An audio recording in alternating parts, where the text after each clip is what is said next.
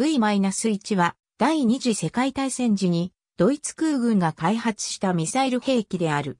パルスジェットエンジンを搭載した現在の巡航ミサイルの始祖とも言える兵器である。宣伝省、ヨーゼフ・ゲッペルスはこれを報復兵器第1号と命名して大英報復を煽った。V-1 とは上記の略号で正式名称はフィーゼラー社が生産したことからファイ103である。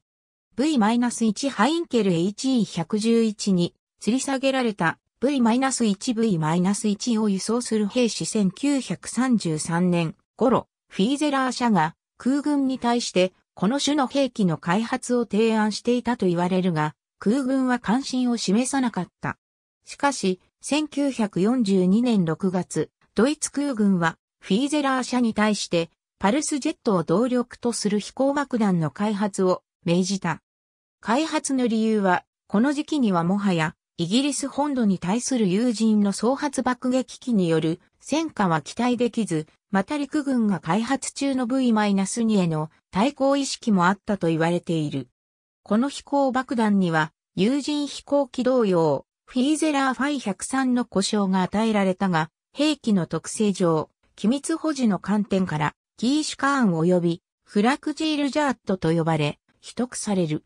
なお、パルスジェットエンジン本体は、アルグス社、誘導装置を、ジーメンス社、発射台を、ヘルムート・バルターの会社が担当したので、フィーゼラー社が携わったのは、機体本体のみである。誘導装置はジャイロスコープによって方向をアネロイド気圧高度計によって飛行高度を設定し、機種先端にある小さなプロペラの回転数によって飛翔距離を割り出した上で一定回転数でエンジン停止させることにより制御装置が機体を急降下させ、目標に突入する。パルスジェットエンジンは、この時代に研究されていた他のジェットエンジンに、比べると格段に構造が簡単な上に、対戦当時において、他の燃料より調達しやすかった自動車用の低オクタンガソリンで作動できる長所を備えていた。1942年12月、FW200 コンドルから10日実験、同12月には V-2 の実験を行っていたペーネミュンで、陸軍兵器実験場の西隣にある空軍兵器実験場カールスハーゲンからバルト海に向けて死者に成功した。開発を命じてからわずか6ヶ月というスピードであるが、これは V-2 が新技術を大量に導入したのと比して、極めて単純な構造であったためである。こうして、この新兵器イギリスに対する長距離攻撃兵器として V-2 とどちらを採用するかは新たに発足された長距離攻撃委員会に委ねられた。1942年5月26日、長距離攻撃委員会の委員はベーネミュンデで討議を行い、結局はどちらも生産するという結論に達した。委員は発射見学をするが、この時 V- には50%の成功確率であったにもかかわらず2回中2回成功、型や V-1 は2回中ともに墜落という不運に見舞われる。当然、軍は V-2 に注目、割を食った V-1 は1944年6月にようやく実戦配備となる。実にノルマンディ上陸作戦の1週間後である。再現された発射台に設置された V-1 フランス北部パドカレー県エペルレックの組み立てを、文化及び発射基地の跡地に設けられた博物館ブロックハウス D エパーレックに設置されている復元された V-1 の発射台 V-1 は空軍第155対空連隊に配備された。同連隊は大規模な発射設備の他に移動可能なカタパルト式発射機を装備していたと言われている。大規模発射施設は V-1 の存在を事前に察知していた連合軍の爆撃によって破壊されたものもあったが、約半数が生き残りきたフランスのカレー地方から19発が発射された。しかしながら、イギリス、ロンドンに到達したのはわずかに一発で、他は進路を外す、途中で墜落するという。6月末までに2000発を発射したものの、依然として到達率は低い状態であり、当然ロンドンに決定的打撃を与えることなど到底不可能であった。その後9月まで1日平均102発を発射、9月初めまでに計8564発が発射されたものの、ロンドンに到達したのは全体の25%程度に過ぎず、さらには撃墜技術の向上によって、もともと信頼性の低かった誘導性能と相まって9月までにはさらに低下することになった。最終的には72%が撃墜、または墜落というありさまであった。残りの28%もロンドンに到達したのはそのうち9%で、残りの19%は他の地域に落ちることになった。なお、全8564発中1912発はイギリス戦闘機により撃墜1578発が対空兵器によって撃墜278発は粗速気球に衝突している。結局ロンドンに到達したのは2340発となった。9月以降は連合国軍がカレー地方に侵攻したため陸上発射を断念。空中発射という方式を取ることになる。オランダやベルギーから発信したハインケル HE111 に搭載された V-1 はロンドンを目指して飛んだものの、その到達率は陸上発射よりもさらに低く6.5%となっていた。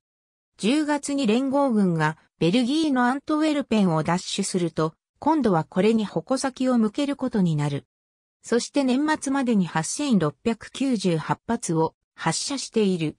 他に、ベルギーのリエージュに3141発、ブリュッセルにも151発が発射された。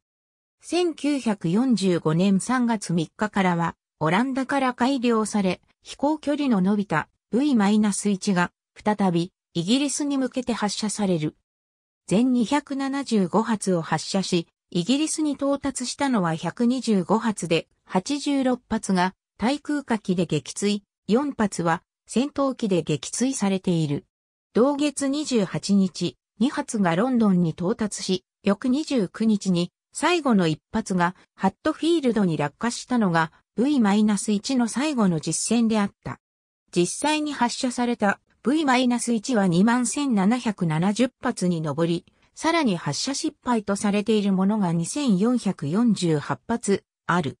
なお、イギリスの被害は死者及び重傷者24,165人であり、ヨーロッパ本土での被害は不明。連合軍では V-1 は、パルスジェットの耳障りなエンジン音から、ブンブン爆弾あるいは、ドゥードゥルバグ、飛行爆弾などと呼ばれていた。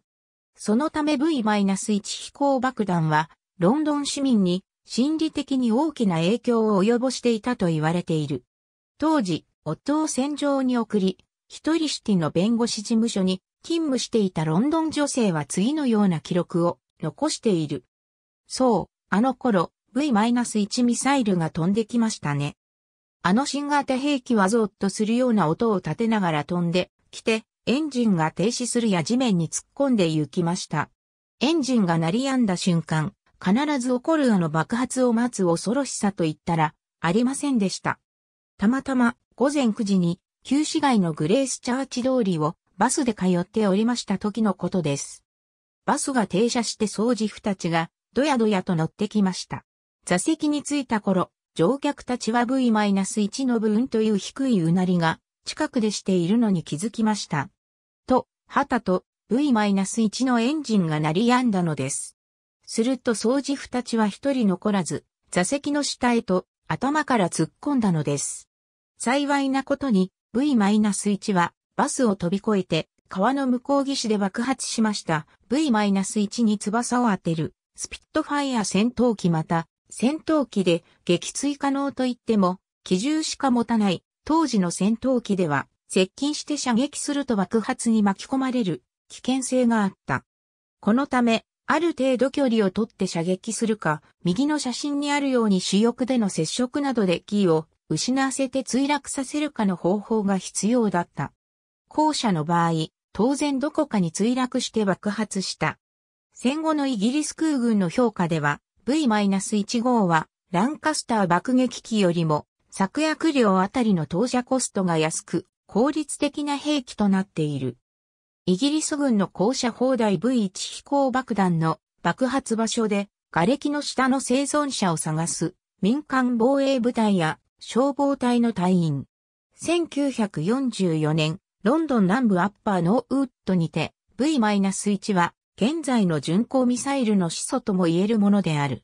しかしながら、当時の制御技術では V-1 での精密誘導は不可能であった。よって、事後評価としては、ロンドンへの都市爆撃ではなく、戦略地域への攻撃に振り向けていれば、より大きな効果があっただろうから、ノルマンディ上陸作戦でも艦船が集中する港湾地区を攻撃目標に選んでいれば、上陸戦への脅威になり得たのではないか、との意見もある。V-1 は、プロペラ機で迎撃可能な高度を追撃可能な時速 600km 程度で飛翔してくるため、イギリス軍による迎撃は可能だった。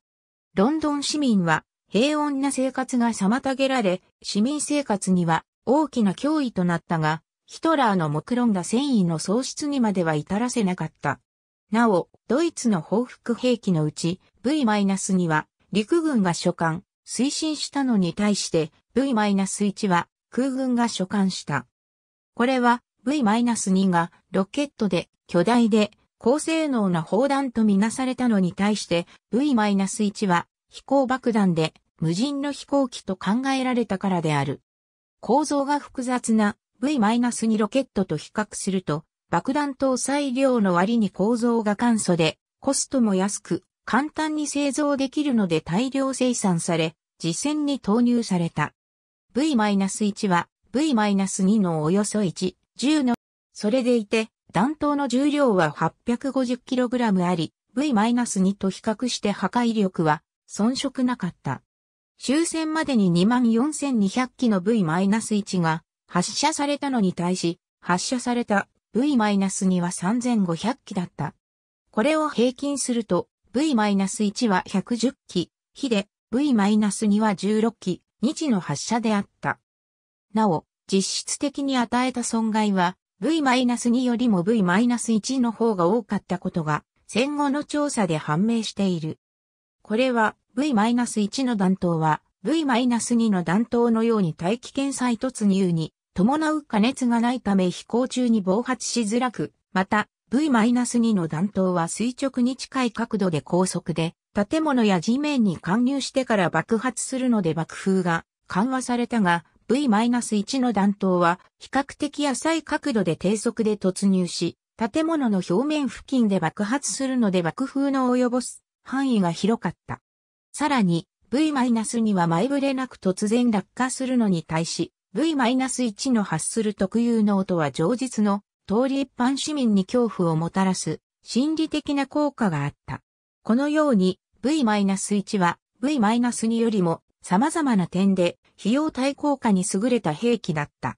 1944年6月17日、ヒトラーは連合軍のノルマンディー上陸後の戦況について協議するため北フランスのスワンソン近郊でロンメル将軍らと会談した。会談が終わり、将軍たちが帰った頃、イギリスに向けて発射された V-1 の一機がイギリス沿岸で U ターンしてフランス上空に飛来し、ヒトラーのいた総統専用地下号のすぐ近くに落下して爆発した。